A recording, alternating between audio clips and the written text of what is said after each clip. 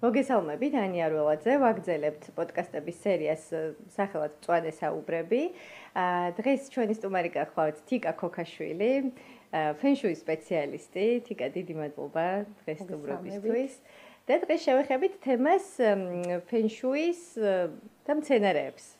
ეს ორი მიმდინარეობა, ესე ვთქვათ, ძალიან მეგობრობს ერთმანეთთან და მეც ცოტა ხნის წინ აღმოვაჩინე თიკა, რომ ადამიანები, ვინც მეგობრობენ ან იწყებენ მეგობრობას სცენარეებთან, სწორედ ფეშუის მიმართულებით, ამ მიმდინარეობით, ასე ვთქვათ, ითვალისწინებენ და არჩევენ სცენარებს, იმიტომ რომ ისეთი კითხვები დამისვეს ერთი-ორჯერ, რომ მივხვდი, რომ სწორედ ეს მიმდინარეობა არის მათთვის ძალიან მნიშვნელოვანი სათუთი და გასათვალისწინებელი. განსაკუთრებით მაშინ, როცა გადადიან ძალიან ახალ სახში, ახალ ნივთებს იძენენ და ძალიან მიყვარს ხოლმე, როცა მცენარესაც მოაკითხავენ და რაღაც ახალ ბინადრები მცენარესთან ერთად იწყებენ ცხოვრებას და თიკა შენ მოკლედ ამ საყაროში უკვე დიდი ხანია ხარ და კარგად იცი ეს ყველაფერი და დამეთანხმები ხო? მგონი მცენარე არის აუცილებელი ერთ-ერთი აუცილებელიც კი. კი აუცილებელი იმიტომ რომ მცენარით აქტიურდება რამდენიმე ელემენტი.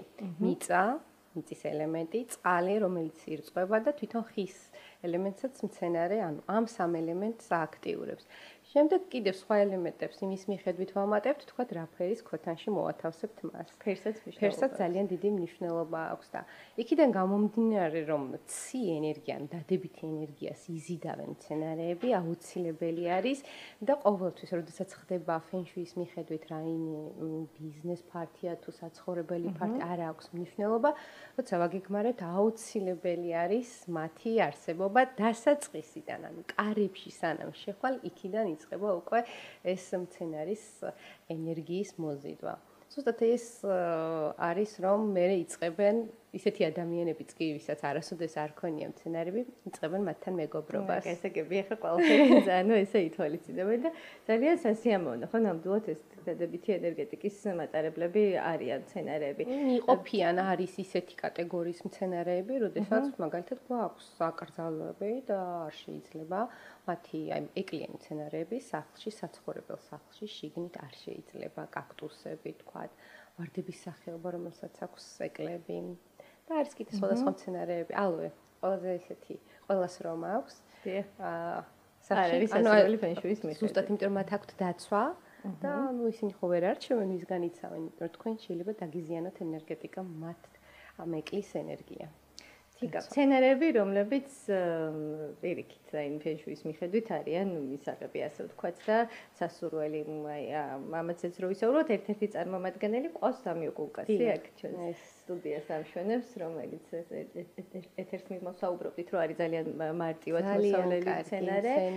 კი, ძალიან აქტიურად მოთხოვნადია ნამდვილად ერთი ამ მხრივ რომ არის ნახევრად ჭრილის მოყარული, ანუ ნახევრად განათებასაც იტანს და მარტივად მოსავლელი სცენარეა და თან ხშირად ეძახიან დოლარის ხესაც და ესეც დამიფიქსირებია რომ ადამიანები სწორედ აი როგორც ჩვენ ეს კრასულა ბარაქის ხეს რასაც ვეძახით, ხო ეს ევროპაში დოლარის ხე ქვია ამ სცენარეს. აი ფენშუის თანაც ვარაკასთან ასოცირდება ეს სცენარი. მხოლოდ და მხოლოდ ფულის ხე და რომელიც აქტიურებს სახლში ფულის ენერგია და ფინანსების ენერგია არის სამხრეთ აღმოსავლეთი არის ზამიოკულკასის ადგილი ანუ და ზუსტად ეს მცენარე არის რომელიც აძლიერებს ამ ენერგიას ფულის ენერგიის მოზიდვას. ჩვენ და განვათავსოთ სამხრეთ სამხრეთ აღმოსავლეთში უნდა განვათავსოთ სამხრეთ აღმოსავლეთი არის ხისტიქია. იქ ძალიან კარგად გრძნობენ არჭკნიან ხო არის? ზოგჯერ სახლში შეიძლება დადო ისეთ ადგილას მცენარე რომ ვერ გაიხაროს. გადაადგილებ გაიხარა. ზუსტად ეს ელემენტები იყოფა მხარეების მიხედვით. სამხრეთ აღმოსავლეთი არის ხისტიქია. აა ბარაქის სტიქია და ზუსტად იქ ჩვენ ზამიოკოლკას ვერტისაც ვდებთ, მას აქვს თავისი წესი გადარგვის, ვაყოლებთ ფულებს, მონეტებს, ისეთი ლამაზ რაღაცებსაც ვაბავთ, წითელ ლენტებს უკეთებთ და სახალხო თქვენ წარმოიდგინეთ ფულებით ისი ლამაზეთ აფორმებენ ეს ნაძვის ხესავით არის გაბრწყინებული და იმახსოვრებს ენერგიას. ენერგიას იმაკაცი არ მინახავს, თუმცა ნამდვილად მინახავს ბავშვობაში ბარაქის ხე, ესე ხურდებით ჩაჭობილი 50 ეთმაში ჯერ კიდე ყვითელი 50 ეთრიანები რო იყო. აი ჩვენ ბავშვობაში უფრო არ იყო საქართველოში, ეს შემდეგ შემოვიდა. მეც მისი არსებობა მალაიზიაში გავიგე, როდესაც ფენშუის სწავლობდი 9 წლის წინ, ესე გვითხრეს, რომ ეს არის ფულის ხე და არა დანარჩენი სხვა რაღაცა მცენარეები. ხოლო ამის იმიტომ ძალიან ძლიერი ენერგია აქვს, ძალიან ძლიერი და ძალიან კარგად მუშაობს. შეიგრძნობს ფულის ენერგიას, შემოსავლებს, აა ნიშანს გაძლევთ მისი გაფუჭების მიხედვით, ფინანსებიც ჩერდება. ანუ ძალიან ისეთი მგრძნობიარე და კონტაქტს ამყარებს ფაქტობრივად ჩვენთან სამცენარის ყურადღებას. ძალიან კარგი მცენარეა და ყველას უნდა გქონდეს სახში ესე თან ისეთი მარტივია მოსავლელი და ისეთი ვიზუალური მხარეც მისი და ყველანაირად ისეთი კარგი არის. ნამდვილად ძალიან ისეთი სასიამოვნო სცენარია ზამიოკულკასი. ზამიოკულკასის გარდა ეთიკა რომ მომცენარეს გამოყოფილი ასე თქვა ბამბუკები. ბამბუკი. აქ საუბარია ნიადაგის თუ აი წყლის ბამბუკს, რასაც დრაცენარი რეალურად ეს სცენარი ხშირად წყლის ბამბუკს ეძახი. წყლის ბამბუკები უფრო არის, იმიტომ რომ წყლის ენერგიას ვააქტიურებთ ხოლმე და ეს ძალიან კარგი არის 8 ცალი, 3 ცალი გააჩნია რისთვის გვინდა, 8 ცალი არის უფრო სიმდიდრისთვის. 2024 წლიდან როცა გადავალთ უკვე 9 წლიან ციკლში, უკვე ცხრიანი იქნება ძალიან დომინანტი და ამიტომ ცხრიანზე გადავლენ. და 9 ცალი იქნება ესეთი ძლიერი ენერგიის მატარებელი და მე თვითონ ჩამოვიყვანე ეს ბამბუკები ხელით მომქონდა 8 ცალი და ზუსტად ჩინეთში ვიყიდე. მესაზღვრე მკითხა რომ იცი ეს რისია და კი ვიცი რისი. კი მეც პირველად აღმოვაჩინე ზუსტად აი ესეთი ფენშუის მიმდევარი ქალბეტონისგან რომელმაც ზუსტად ეს 8 წელი იკითხა მახსოვს. და ხო რაღაცა ესეთია ხო მარტივად მოსავლელ მცენარეებს ანიჭებს ესე იგი ფენშუი უპირატესობებს იმიტომ რომ დრაცენაც ნამდვილად არის მარტივი თვალსაზრისით რომ სადაც განათება არ არის იმ სივრცეშიც კარგად გძნობს თავს მე პირადად აბაზანაში მყავდა რაღაც პერიოდი და მიყო მშვენივრად, იმიტომ რომ არის ტენის მოყვარული და თან ისეთი მარტივია არის წყალში. თუმცა არის ხოლმე შემთხვევები, რომ რაცენაც მინახავს ეს გაყვითლებული და სინამდვილისგან წასული. როდესაც რამე ენერგიას ვანეიტრალებთ ამით სახლში, ამ შემთხვევაში შეშემთხვევაში მცენარეები ყვითლდებიან და ნუ ვანაცვლებთ მათ. მაგრამ ძირითადად მარტივი მოსავლელი არის როგორც თქვით და ძალიან კარგი მცენარე არის. ასევე უპირატესობას ყოველთვის ვანიჭებთ ისეთ მცენარეებს, რომლებსაც აქვს მრგვალი ფოთლები, არ არის წვეტიანი. იზრდება მარტივად. ესეც თავდაცვის ამბავში წეგანებლები. რაც უფრო მრგვალი არის, უფრო მრგვასი მრგვალი აქვს, უფრო სხვა ენერგია, უფრო მარტივად შემოაქვს და უფრო მარტივად იღებს ამ დადებით ენერგიას და მე ანაწილებს მთელს სახლში. და რაც უფრო იზრდება და რაც უფრო მაღალი არის მცენარე, აი ეს ჯუჯა სახეობის მცენარეებს მაგალითად ფინანსების გაჩერებაც კი შეუძლიათ. ნუ გააჩნია სექტორს ახლა აკრძალული არ არის ესე რომ ახლა რომ არ უნდა ვიქონიოთ ან რაღაც, მაგრამ შეიძლება ფულის სექტორში, კარიერის სექტორში, სიყვარულის სექტორში გქონდეს ესეთი პატარა ბონსაი და რაღაც მსგავსი მცენარეები, რომ ძნელა იზრდებიან და არ არის კარგი.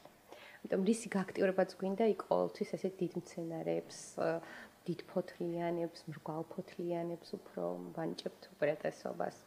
თიკა, აი რასაც საუბრობთ, სუმახსენდება ესეთი პირადი მაგალითები, რაც მომისმენია და სიმართლე რომ გითხრათ, მე ესეც უპირატესობას არ ვანიჭებ ხოლმე, რაღაც ზოგადად ფიქრობ, რომ ყველა ტიპის სცენარე ეკლიანი იქნება, თუ ფოთლიანი იქნება, რაღაცნაირად ყველას პატივს წემ, მოკლედ ისე რომ ვთქვა. თუმცა აი ყოფილა არაერთი შემთხვევა, ბოლო ფაქტი მახსენდება, ერთ-ერთმა გოგონამ სინგონიუმის ფოტო გამომიგზავნა ფოთლოვანი ლიანა მცენარე და ესეთი ტექსტიც მოიწერა, რომ რამდენადო ოჯახურ ურთიერთობაში ხელს შემიშლისო. არ ვარ ნამდვილად კომპეტენტური აი ამ მიმართულებით, რომ ეხა ხვდები, რომ ეს ყველაფერი მოდის აშკარად ფენშუის გავლენით. და ნუ ხო ისე რაღაცა ურჩიერო. არა მგონია თქო რომ რაღაცა ცოტა სხვაგან დადეთ. ხო, ხო, ხო არ არის რაღაცნაირად ეს ინფორმაციებიც ცოტა რაღაცნაირად დამახინჯებული და აი დია. ყველაფერს აქვს თავისი ადგილი. აჰა. ეს ეკლიანიც რომ გქონდეს მცენარე, შეგვიძლია, მაგრამ მას უნდა ისეთი ადგილი მივანიჭოთ, სადაც არ დაგვაზიანებს. მაგალითად, ძალიან ხშირად კარებს გარეთ. გარეთა შემოსასვლელი ან თავარი კარების შემოსასვლელში შემოდის დადებითი ენერგია. ეკლიანები ჩვეულებრივად წიწოვანი, ჩვეულებრივად შეგიძლიათ იქონ, როგორი მცენარეც გაგიხარდებათ, სუნი კონდეს თუნდაც ვარდი იყოს გარეთ. სამზარეულოში გარეთ გულისხმობთ აივანს. აივანზეც გავალ ახლა ამ თავარ კარებს გულისხმობ, ეს შეიძლება იყოს ეზოს მხრივ, შეიძლება იყოს ჩვეულებრივად სადარბაზოს მხარეს. აა თუ მაგალითად სამზარეულოში აუცილებლად გვინდა ალოე, იქონიეთ, მაგრამ ფანჯერაზე დად და ფარდე ჩამოაფარეთ. ანუ თქვენ მასთან არ გიქნებათ ამ შემთხვევაში, ის თავისთვის იქნება და მოუარეთ. არ არის პრობლემა. აივანზე ყველაფერი დაშვებულია. როგორიც გაგიხარდებათ, რაც უფრო ესეთი წითელი იქნება, ლამაზ ყვავილები იქნება და რაღაც დაცვაც აქვს წითელ ფერს, ძალიან კარგი იქნება. ძალიან არის აკრძალული და საერთოდ აი ერთადერთი შემთხვევა, როდესაც ჩვენ შეიძლება დავუშვათ სცენარის კონე, ეს არის საძინებელი. აჰა. საძინებელში ყვავილები, როგორც ჩვენ სუნთქავთ და როგორც ჩვენ ვიკვებებით ენერგიით, ისე იკვებებიან ხამი, როცა ჩვენ გვზინავს ჩვენი ენერგიით. ამიტომ შეიძლება გავიღოთ ძალიან დაღლილება. თუმცა სენსივიერას გამოვყოფ ამ სცენარეს, რომელსაც აქვს, აი, რეკომენდირებულია სწორედ საძინებელში, რადგან ღამის განმავლობაში აქვს, დიახ. არის კატეგორია სცენარეების, რომელიც შეიძლება და კიდევ არის ისეთი შემთხვევა, როდესაც თქვა დაშვებული არის ვარდისფერი, იასამნისფერი, ან მოწითალო ყვავილების ესეთი მქონე სცენარე, რომელიც იმ შემთხვევაში, არა, იმ შემთხვევაში, როდესაც გვინდა მოვიზიდოთ სიყვარული. აუცილებლად რომ მოვა სიყვარული, მე უნდა გავიტანო. უნდა გავიტანო. ესე იგი ხო, ყველაფერს ჭირდება სწორი ცოდნა, ხო? თერე შევთანხმდებით იმაზე, რომ ყველგან შეგვიძლია რომ ყავდეს მცენარე, უბრალოდ თუ კი ესე ღრმად ვართ დაინტერესებული და ვართ ამ კულტურის ასე ვთქვათ მიმდევრები, ხო, აი ეს დეტალები უნდა ხო, ხო, სიყვარულის სექტორი არის სამხრეთ დასავლეთ სექტორი. სამხრეთ დასავლეთ სექტორში რაც შეიძლება ამაზი ყვავილები რო გქონდეს, ამით უფრო სიყვარული მაინდა-მაინც იმას არ ნიშნავს, რომ პარტნიორის სიყვარული საზოგადოდ ზოგადად ყველგან რო ქონდეს სიყვარულის ენერგია და პატივისცემა, ამიტომ სამხრეთ დასავლეთ სექტორში ყოველთვის არის მიზანში წონილიც. კი, იმიტომ რომ თან მიწის სტიქია არის იქ და მიწის სტიქიაში შეიძლება ძალიან კარგიც არის. თიკა წერან ახსენეთ წითელი ლენტი სამი ოკულკასთან მიმართებაში. და ნუ აღმოსავლეთში ვიცით რა დატვირთვა აქვს წითელ ლენტს ამ შემთხვევაში ამ სცენარესთან მიმართებაში საახალწლო პერიოდში თუ მუდმივად მეც ესე ბუნდოვნად მახსოვს რომ კრასულაზე მინახავს ესე ბავშვობაში წითელ ალბათ მაშინაც ეს დატვირთვა ქონდა ბარაქის თუ რაიმე შეიძლება წითელი ლენტი საერთოდ მასზე კიდე ფულებს ამაგრებენ რომ დაიმახსოვროს და გაორმაგოს. ანუ წითელ საქსის ფუნქცია რო ყოველთვის აძლიერებს და უფრო ძლიერად მუშაობს და საახალწლო პერიოდი ზუსტად ისეთი პერიოდი არის, როდესაც არის ერთიანობაში მთლიან ქალაქში დედამიწაზე გაძლიერებული ენერგია ახალი წლის სიხარულის ბედნიერების და აი ზუსტად ამ ენერგიებთან თამაში იწყება, როდესაც დეკემბერში უკვე ამას ვალამაზებ, ნაძვის ხესავით ვრთავთ და ეს წითელი კიდევ გვიორმაგებს, რომ ორმაგად მოვიდეს ფინანსები, ორმაგად მოვიდეს წარმატება. ფუსფუსის და სასიამოვნო პერიოდი და ნამდვილად ბევრი დადებითი ემოცია იცვლება ამ პერიოდში. თიკა, ხო, ზოგადად ახალი წელი ჩემს სფეროშიც ისეთი აქტიური და მეც პირადად ძალიან მიყვარს და ძალიან მოთხოვნადია საახალწლო პერიოდში. ნუ ერთი რო წიწვოვანი სცენარი ნაძვი, იმიტომ რომ ახალი წლის სიმბოლოა და ასევე პუანსეტია, შობის ვარსკვლავს, რომელსაც ვეძახით და ძალიან מחარებს ის ფაქტი, რომ წლიდან წლამდე კომპანიები ჩუქნიან ისე აქტიურად თავის თანამშრომლებს, არამხოლოდ ესე მეგობრები და ოჯახის წევრები ერთმანეთს და ასევე კალამონდინი, ესეთი ციტრუსი, რომელიც ხო, ვიცი რომ რაღაც აღმოსავლეთ კულტურაში თავისი დატვირთვა აქვს და ძალიან აქტიური და ზოგადად ციტრუსები არის ხოლმე ისე აქტიურად და ამასაც ალბათ თავისი დატვირთვა თუ აქვს ხო რადგან არის მსხმოიარე ნაყოფის დიახ დიახ ანუ დავიწყებ ნაძვიდან. ნაძვი მოჭრილი არის აჰა ანუ ქოთანში სუდი ფენში აჩუქეთ უნდა იყოს ქოთანში ცოცხალი რომ მე გააგრძელოს მან ცხოვრება. აი მოჭრილი ნაძვს აქვს ძალიან ცუდი ენერგია როგორც კი იწებს ხმობას. ანუ იმის მაგერად რომ თქვენ ბედნიერება და სიხარული და მთელი ჩაფიქრებული სურვილები აგისრულოთ პირიქით იქნება. ამიტომ რეკომენდირებული ქოთნით მიიტანონ და გაფრანჭონ ეს ნაძვები რაც შეიძლება ციტრუსებს, ციტრუსი, ფაქტიურად ყველანაირი ციტრუსი, ანუ მანდარინი ხე არის, აა ფენშუის მიხედვით და აღმოსავლურ კულტურაში ნაცვის ხე. ჩათვალით ეს და საახალწლო ძალიან მნიშვნელოვანი არის. ფინანსების თვალსაზრისით ზუსტად ძალიან ძალიან კარგი არის და რთულიც არის მათი მოვლა. აა არ არის მარტივი, ძალიან დიდი ყურადღება უნდა და ისეთი. მაგრამ ძალიან კარგი არის, ამიტომაც არის რომ საახალწლოდ მაქსიმალურად ცდილობენ რაც ფენშუის მიხედვით შეიძლება მოიზიდონ, ეს ციტრუსებსაც უთმობენ დროს, მაგრამ არის რომ ძალიან ბევრი არის ესე ხელოვნურ ციტრუსსაც ყიდულობს. კი, მცენარეებში ამაგრები. კი, კი, კი, დაძვის ხეზე შეიძლება და რაღაც ესეთი გაფორმება. და ზარმაცებისთვის. აი, მცენარეს ხოთნით ახსენეთ და ძალიან ესეთი ესე მეც მაგის მომხრევა. აა რამდენად არის თქვა აი ესე დღესასწაულებზე რომ ან მცენარესთან ერთად შეხვედრა, ან აი სხვა დღესასწაულებს თუ გაიხსენებთ რა ძალიან კარგი. პარასკევი დღე მაგალითად არის ვენერას დღე, სიყვარულის პლანეტა ვენერა და ლაქშმის დღე, ეს ისეთი დღე არის, როდესაც ქალური ენერგიებია ძალიან ძლიერი და ძალიან კარგი არის ამ დღეს მაგალითად ჩვენ საკუთარ თავს შეუძინოთ ვაჩუქოთ ყვავილი, ეს როგორ მდგომარეობაში იქნება, არ აქვს მნიშვნელობა, შეგვიძლია ქოთნით, შეგვიძლია ისე, არ აქვს მნიშვნელობა. რომელი დღეა ეს? პარასკევი. პარასკევი, ესე იგი კარგი დღეა. კი, ძალიან კარგი დღეა და ესეთი ხალიბის დღე თითულება ჩავთავ და ძალიან აძლიერებს ამ ენერგიას და საერთოდ პარასკევ დღეს შეძენილი მცენარე, რომელიც მაგალითად თუ გინდა მოვიზიდოთ სიყვარული, ბედნიერება, ან არსებულ სიყვარულში იყოს მუდმივად ჰარმონია, პარასკევ დღეს შეიძინეთ მცენარეები და დავაკვირდა პარასკევს გაყიდო. როგორ იქნება? აი სპატიფი ის მე უფრო მახსენდება, ეხლა მცენარე ქალთა ბედნიერებას უწოდებენ და ნამდვილად ისეთი ნამდვილად ბედნიერების მომანიჭებელი მცენარეა ყველა მხრივ. ძალიან კარგი არის. აი მაგალითად კიდე არის ვარდები, ნუ ვარდი არის ყველა კულტურაში მე მგონი სიყვარულის ენერგიის და უძლიერესი მცენარე არის. ოღონდ ჩვენ ყოველთვის ვაცლით მას ეკლებს. ნუ სახლში როდესაც ჩავდგავთ, ვარნაგში, თქვათ მოგვართვეს, უნდა დავაცალოთ ეკლები და ისე განაცავსოთ. ეკლები, იმიტომ რომ ენერგიის კი იმის მაგივრად რომ კარგი მოხცეს, მოხცემს ცოდს და ამიტომ მაგრამ ახლა არის უკვე ესეთი ჯიშები, საერთოდ არ აქვს ოქსეკალი. აჰა. ეს ჰოლანდიური ჯიშები რო არის ძალიან იშვიათად შემოხდები. ჩემს პრაქტიკაში ძალიან ხშირად ყოფილა, აა რომ თქვენს არაერთხელ ხსმენიათ, ხო, რომ ადამიანები ესაუბრებიან სცენარებს. მე ძალიან ჯერა იმის, რომ ამ ენერგიების გაცვლა ხდება ისე როგორც დადებითი, ასევე უარყოფითი და ერთგვარი თერაპიაც არის მათი მოვა, მათთან ურთიერთობა.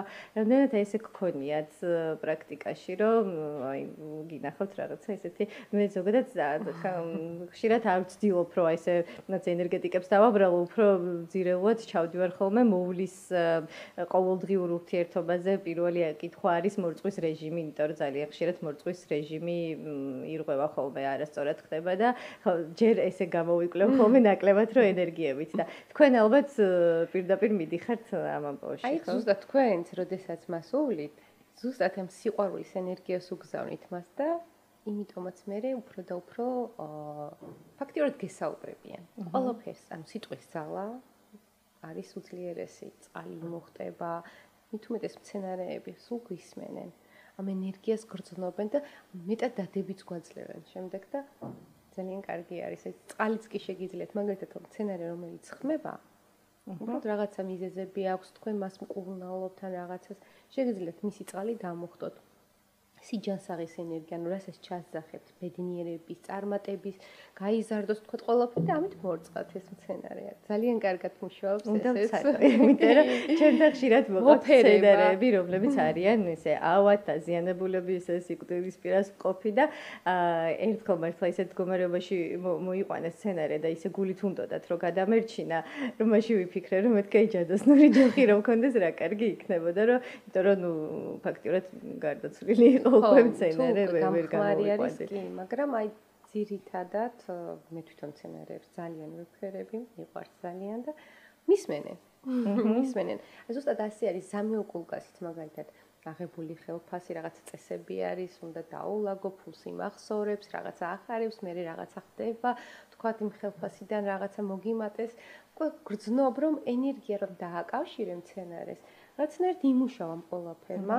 შენზე, იმიტომ რომ მასთან ხო გაატარე დრო შემდეგ მთელი ერთი თვე და მოგცა ის ენერგია, რომ შენთან რაღაცა ახალი სიახლე შემოსულა. ალბათ ამიტომაც უწოდებენ დოლარის ხეს, ხო ეხლა და ანუ ეს ფენშუიდან დაკავშირებით არის ძალიან ბევრი რაღაცები კეთდება. კი, ძალიან ძალიან ბევრი რაღაცები პრაქტიკები მთელი ისინი არის კეთდება და გაცვლა აქვს ძალიან კარგი. თიკა მე რამდენად უკან აი თქვენ რა ცოტნასაც გასცემთ და გისწავლიათ და იცით ეს მიმდინარეობა კარგად ის ადამიანები ვინც გისმენენ მე პრაქტიკაში გადააქვთ მე აი რამდენად არ ვიცი დაურეკავთ მოუწერიათ ვთქვათ რომ აი თიკა ნამდვილად ესე მოხდა. სცენარესთან მიმართებაში დიახ დიახ ესეთი ძალიან ბევრი ძალიან ანუ რეალური მაგალითებიც ყავთ ირგვლივ და არც არ მაქვს ჩემი და ანუ მუდმივად ვიცი რაც ხდება და საკმაოდ ისეთი ბევრი ადამიანია ამ ჯგუფში და სახლსაც, როდესაც სახლებს ვაპროექტებთ და ვაკეთებთ ფენშუის მიხედვით, მცენარეები ძალიან ბევრგან ხდება, ძალიან ბევრგან აივნებზე, შიგნით, რა ვიცი, ძალიან ძალიან ბევრგან და ერთგვარი ხელოვნება ხო ეს აი თქვენც რომ შედიხართ, სადაც არ უნდა იყოს ეს ჯერ რო ხდება მცენარის რაღაცა ჰარმონია, ყოველთვის ვიცახი რომ აი ჩათვალეთ რომ თქვენ ხართ დადებითი ენერგია. აჰა. და შეხვალთ თუ არა იმ სახლში. და ზუსტად კარებიდანვე რო იწება ენერგია შემოდის ნახა ლამაზი ყვავილი გადანაწილდა მე სხვა ყვავილთან წავიდა იქ ნახატი ნახა აი ესე ნაწილდება მთლიანად სახში და თქვენ წარმოიდგინეთ თქვენი თავი ყოველთვის. ნუ თქვენ ხართ ენერგია შედიხართ სახში და არაფერი არ დახვდათ. მოტრიალდება და წამოვა ამდენ ყოველთვის ვახვედრებ სცენარებს. კი, ნამდვილად წესია მომნო მიმდინარეობა ამ ხრივათაც, რომ სცენარი არის მისთვის პრიორიტეტი და სიცოცხლე და ბუნება. აი სამი ელემენტი არის, როგორც აღნიშნე და ძალიან მნიშვნელოვანი არის ეს ელემენტი. ადამიანებს, ვისაც არ აქვს სცენარეებთან ურთიერთობა, ისედაც ჩვენ დღესდღეობით ძალიან იშვიათად რომ მიწას ფეხი დავადგან. ფაქტიურად ისევ ცხოვრობთ გამოკიდებული კორპუსებში, მიწასთან შეხება არ გვაქვს.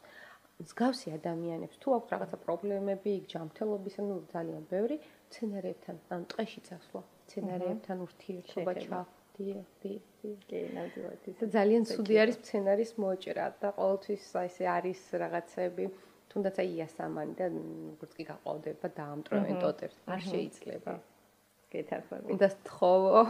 რეალურად თან გვაქვს იმის რესურსი, რომ ყავდეს ქოთანში იგივე ნაძვი ახსენეთ და მე პირადად מחარებს ძალიან ის ფაქტი, რომ იწლიდან წლამდე და კანონით შემოვიდა ხო პრინციპში ნაძვების, იმიტომ რომ მახსოვს ჩვენს ბავშვობაში ისე აი სპორტის სასახლესთან ახლოს ვართ და იქ ისე აქტიურად ხა კი დაგვიხაროდა სახში რაღაც ნაძვი უზარმაზარი მაგრამ ხო რეალურად და მგონი მოიკლო ამ ამბავმაც და მეც ერთ-ერთი მიმდევარი ვარ მაგამის რა სცენარის ჩუქება შესაძლებელია აი ტოტებითაც აწყობენ არის ესეთი მაგრამ სულ ვიძახი რომ ის არაფერს არ გამოცემს არა არანაირი ენერგია არ აქვს პირიქით. აჰა კარგის მაგივრად ცუდ ენერგიას მოვიდა. ძალიან სასიამოვნო რომ თქვენ მაგამ ბავში კონფილხერთ ახლა აღმოვაჩინე. თიკა ჩვენთან რა მდგომარეობა არის ამ მიმართულების ისეთი აი მე თქვენამდე ამით მოვედი რომ აი ამ სფეროში მცენარებ მივხვდი რომ არის ძალიან მნიშვნელოვანი ფენშუის მიმდევრებისთვის. აი 9 წელი ახსენეთ ხო 9 წლის წინ ხო როგორ შეაფასებდით რა რა ეტაპზე ვართ ასე ვთქვათ, რამდენად როგორ არის მოთხოვნადი? ხო, როგორ არის მოთხოვნადი, დიახ. ძალიან მოთხოვნადია დღეს ფენშუი, იმიტომ რომ უკვე 9 წლის წინ ესეთი ბევრი ინფორმაცია არ მოიპოვებოდა. ეხლა ბოლო 3 წელია ძალიან წამოვიდა მოთხოვნა, თან იმის და მიხედვით, რომ წარმატებული ადამიანები თუმი ამის მიხედვით აშენებენ სასტუმროებს, თუმე იქ სტინგს ქონია სახლი მოწყებული. ანუ ამ ყველა რეალური მაგალითები არის. რეალური მაგალითებით უკვე გადანაწილდა. მაგალითად დონალდ ტრამპს, როდესაც ის იყო პრეზიდენტი, სტიქიების მიხედვით ედგა ნაძვის ხეები. მმ, საინტერესოა. სტიქლების მხარისხოგან იყო მწვანეები, ზუსტად აი ესეთი ფენშუი სპეციალისტი, ჩემი პედაგოგი არის, რომელმაც ეს ყველაფერი დაუგეგმა თეთრი სახლისთვის და ამის მიხედვით ანუ სოფლიოში არის ძალიან ტრენდული. აი ფერების ხელოვნებაც ახსენეთ და ქოთნე ქოთნებთანაც შეეხეთ, არ ვიცოდი ნამდვილად ამ მიმართულებით როგორ რა ფერებია ასე ვთქვათ ქოთნებში. ცეცხლის სტიქიას ვერიდებით ყოველთვის. ცეცხლი არის წითელი, ესეთი მალინის ფერი და ცეცხლოვანი. იმიტომ რომ ცეცხლოვან ფერს შეუძლია ქოთანს პირიქით წაართვას ენერგია, გააყვითლოს. და ვერ იყოს კარგად, ამიტომ ძალიან დიდი მნიშვნელობა აქვს ქოთანს. ანუ თვითონ სცენარის წაერთვას ენერგია ამაზე. დიახ, დიახ. და ხშირად ხმებიან სცენარები. უბრალოდ რომ სცადოს ვიღაცა, მე დილეტანტი იყოს და თქვა, აი მოისმინა არ მჯერა მე ამის და სცადოს. უბრალოდ სუდი არის რომ შედეგს, რასაც მე ვიტყვი, იმას მისცემს. ხმებიან სცენარები, ცეცხლის სტიქიას ვერ იტანენ. და მათთვის არის კარგი მწვანე, ესეთი ღია ფერები, ბეჟი ფერები, ცისფერი თქვერაშიც გაქვთ ამ წყესტიქია არის. აი და მე შეიძლება გძნოს თან თავს. კი, ძალიან მოწონს. აი ესეთი ფერები არის დაშვებული, ერთადერთი ცეცხლის სტიქი არის აკრძალული. გასაგებია. ძალიან ისეთი ღრმა და საინტერესო მიმდინარეობა. ეს არის უხსოვარი დროიდან დაახლოებით ინფორმაციები ფენშუიზე, რასაც ჩვენ ვსწავლობთ, არის 5000-6000 წლის წინანდელი ჩანაწერები. აა ადამიანებს სანამ რელიგია ექნებოდათ, მანამდე ქონდათ ძალიან ბევრი ცოდნა, კონტაქტი მიწასთან, სცენარეებთან, ბუნებასთან. ზუსტად ეს არის ფენშუი. აა ცხოვრება ჰარმონიაში ბუნებასთან ერთად, ბუნებასთან ერთად. კი, რაც აიწერა ნახსენეთ, რომ ურბანულ სამყაროში, სადაც არ გვაქვს ხშირად შეხება ბუნებასთან, ძალიან გვჭირდება და ის სწორედ მცენარე შეგვიძლია, რომ ეს ბუნება შემოვიყვანოთ სახში და თან ისე მივაქციოთ დეტალებს ყურადღება და კარგად განვათავსოთ და კარგი ენერგიები გავცვალოთ, ხო? ზრუნვა, საერთოდ ზრუნვის ენერგიას, რომ რამეს აძლევ, ყოველთვის გიბრუნდება ეს მცენარეზეც არის და ცხოველებზეც არის და მით უმეტეს რომელიც არ ლაპარაკობს, ვერაფერს ვერ გეუბნება და მას დაეხმარები, მოული, გაზრდი გალამაზებ. ამაზე კარგი რა შეიძლება გააკეთოთ. ეს კარგი გაცვლა ხდება ყოველთვის ვიზრუნოთ.